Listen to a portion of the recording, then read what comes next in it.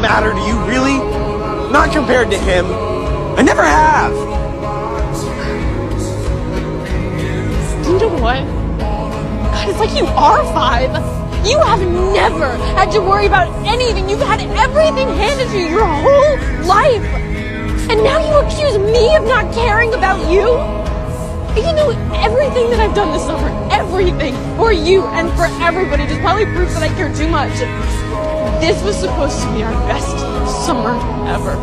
It was never gonna be. Because all of those things that just made our summer so great before, that's gone, and we're never gonna get that back. But you know what? Maybe that's the point. Maybe we're not supposed to. At least those of us have to grow up at some point. Oh, oh, and a new rule. All of our rules.